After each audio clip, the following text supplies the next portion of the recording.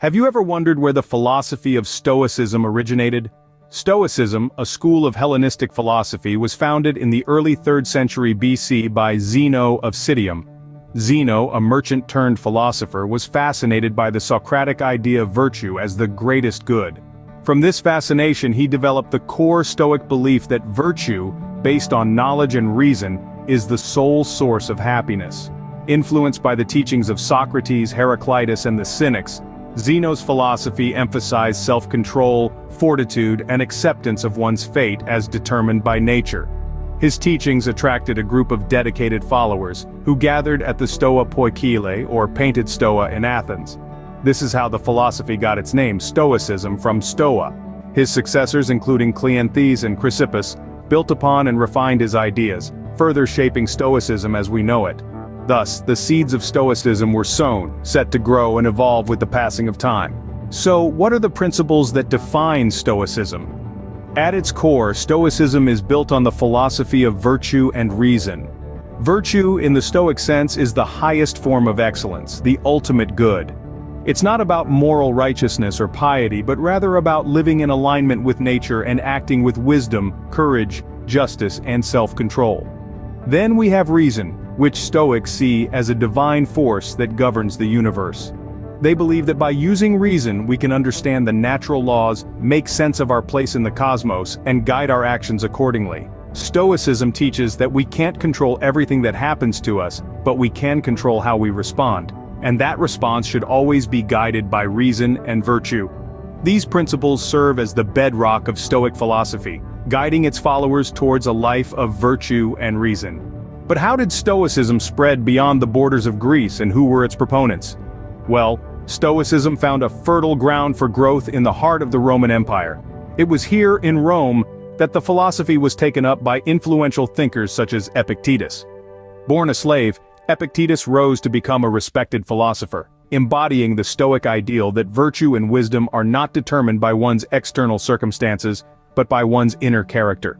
His teachings emphasized the importance of accepting things beyond our control and focusing on how we respond to them, a core principle of Stoicism that resonated deeply within Roman society.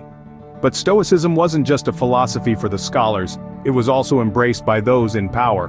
Perhaps the most famous Stoic of all was the Roman Emperor Marcus Aurelius. Known as the Philosopher King, Marcus Aurelius applied Stoic principles to his rule. He viewed his position not as a privilege but as a duty to serve the common good. His personal writings, known as Meditations, reflect his deep commitment to Stoic principles and offer timeless wisdom on navigating the challenges of life with grace and composure. At the heart of Stoicism is the concept of cosmic citizenship. The Stoics believe that we are all part of a larger whole, a universal community, and thus our actions should reflect this interconnectedness. They advocated for a life lived in harmony with nature and the universe, a principle that continues to resonate today. Finally we come to the four Stoic virtues, wisdom, courage, justice, and self-control. These are the moral compass of Stoicism, guiding individuals towards a virtuous life.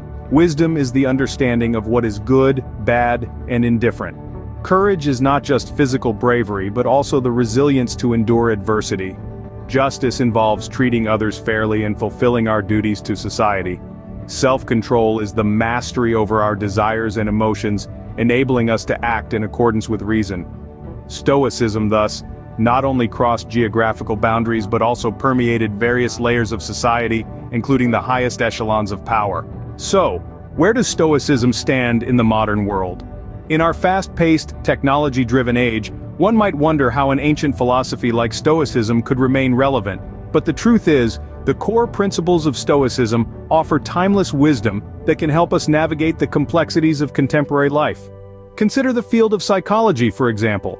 Cognitive behavioral therapy, a widely used form of psychotherapy, is grounded in Stoic philosophy. It encourages us to challenge our automatic thoughts and to understand that our reactions to events, rather than the events themselves, shape our emotions and behavior.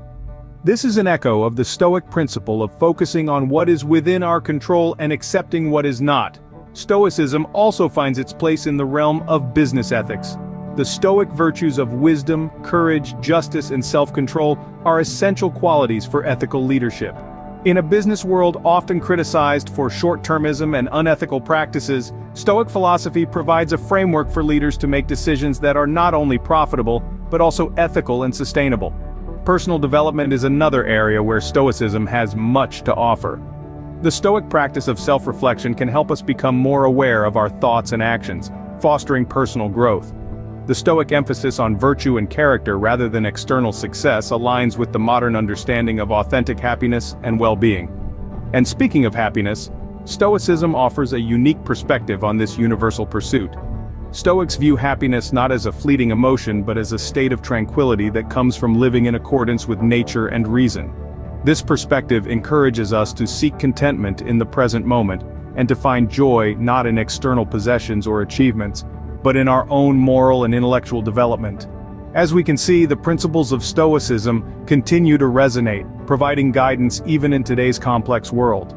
Whether it's in the therapist's office, the corporate boardroom, or the quiet moments of self-reflection, Stoicism offers valuable insights for living a fulfilling and meaningful life. But has Stoicism faced criticism, and what is its lasting legacy?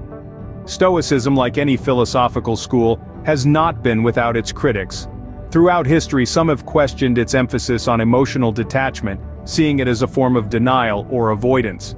Others have pointed out that the Stoic principle of accepting things as they are can lead to complacency or passivity, potentially hindering social progress or personal growth.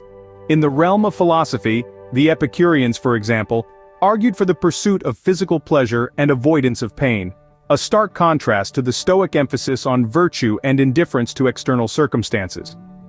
Skeptics on the other hand, challenged the Stoic belief in the possibility of attaining absolute knowledge. Despite these criticisms, Stoicism has continued to resonate and influence generations long after the fall of the Roman Empire. Its core principles of virtue, reason and resilience have found a home in various aspects of contemporary society. In the field of psychology, cognitive behavioral therapy, one of the most effective forms of treatment for a range of mental health issues, draws heavily on Stoic ideas. It encourages individuals to challenge their irrational beliefs and to understand that their reactions, rather than external events, determine their emotions.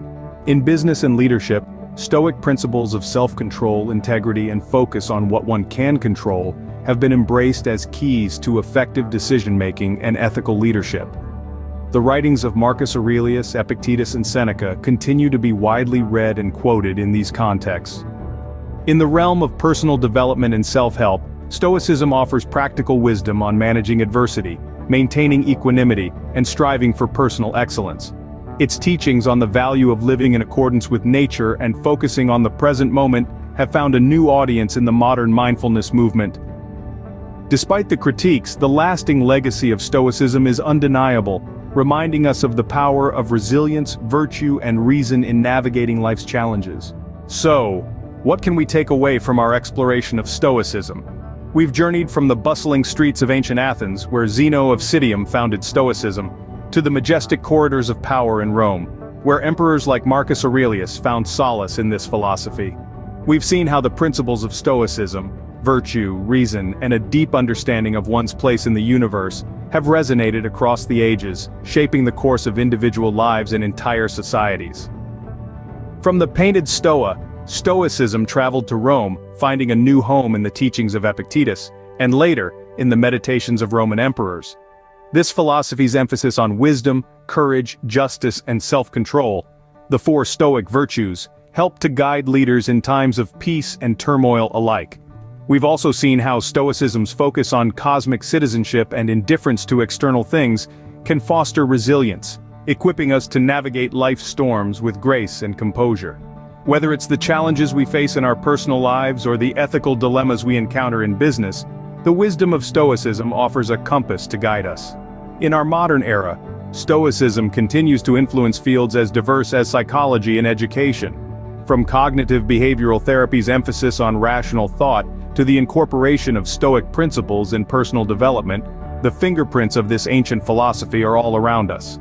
Yet, Stoicism has weathered its share of critiques, some argue that it promotes emotional detachment and passivity, while others point out its potential for misuse in justifying unethical behavior. Despite these criticisms the core tenets of Stoicism remain relevant, providing a framework for understanding the world and our place within it.